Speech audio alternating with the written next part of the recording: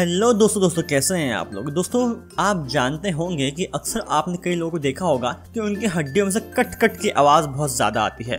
दोस्तों, ये आवाज़ बहुत ज़्यादा इरिटेटिंग तो होती है साथ ही दोस्तों, ये आवाज़ को कहा जाता है कि ये एक घर में एक नेगेटिव एनर्जी प्रोवाइड करती है। जी।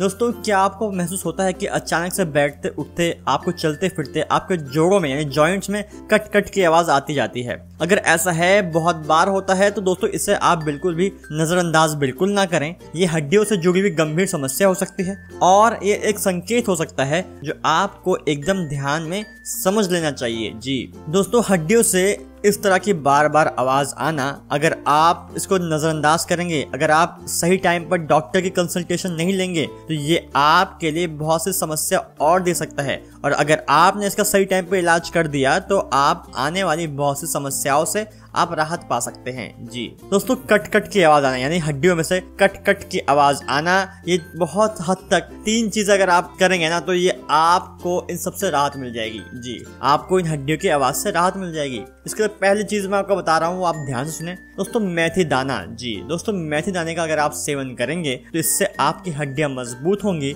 बहुत फ़ायदेमंद होगा आपकी हड्डियों के लिए, और ये जो कट कट की आवाज़ है, ये धीरे धीरे जाएगी। अब आप सोचेंगे कैसे करना है मेथी दाने का इस्तेमाल? दोस्तों, बात आसानी से ये है कि इसके लिए आपको रात को आधा चम्मच मेथी दाना पानी में भिगो देना है, फिर सुबह सुबह मेथी दानों को चबा चबा कर अच्छे से खाना है, और इसके साथ ही जो पानी है उसको भी पी लेना है। दोस्तों, अगर आप नियमित रूप से, यानी रेगुलर रूप से अगर आप इसको इस्तेमाल करेंगे तो आपकी जो हड्डियों में से आवाज़ आने की शिकायत है, ये धीरे धीरे बंद हो जाएगी और आपको बहुत राहत मिलेगी। अगली बात, दोस्तों, इसके लिए आपको पीना है दूध। जी, दोस्तों, हड्डियों में से कट कट की आवाज़ आने का मतलब ये होता है कि इसमें आपकी हड्डियों के बीच में लुब्रिकेशन की कमी है, यानी कि जो तरल पदार्थ होता है जिसकी वजह से आपकी हड्डियाँ अच्छे से मूव करती हैं, उसकी कमी हो जाती है। अक्सर दोस्तों जब उम्र बढ़ती है ना, तब ये समस्या ज़्यादा होती है। इसलिए आपको अपने शरीर को पर्याप्त मात्रा में कैल्शियम भी देना बहुत ज़रूरी है। और कैल्शियम के लिए सबसे बेहतरीन स्रोत जो होता है नेचुरल स्रोत, वो दूध से अच्छा कुछ होता ही नहीं। तो अगर आप दूध का सेवन करेंगे,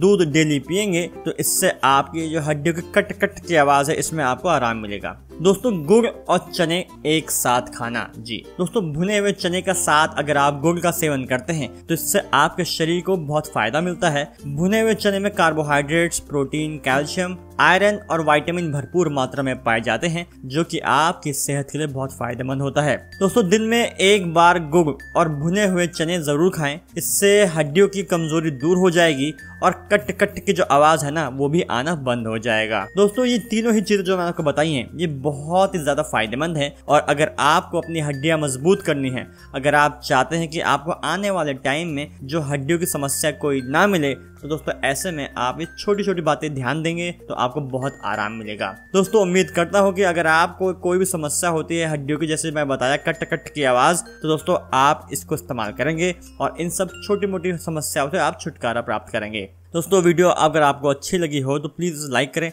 दोस्तों के साथ शेयर करें ताकि उनको फ़ायदा मिल सके। और हाँ दोस्तों, छोटी सी रिक्वेस्ट है आपसे कि अगर आपने मेरा चैनल सब्सक्राइब नहीं किया है तो नीचे जाके फटाफट लाल बटन दबा के सब्सक्राइब कर लीजिए और बाजू में घंटी का आइकन को ज़रूर दबाएँ, ताकि हमारे आने वाली फ़ायदेमंद वीडियोज़ आपको यही मिलती रहे। दोस्तों, आप सभी ने अपना समय दिया, इसके लिए बहुत बहुत धन्यवाद। आप स्वस्थ रहें, मस्त रहें ख्याल रखें। थैंक यू दोस्तों।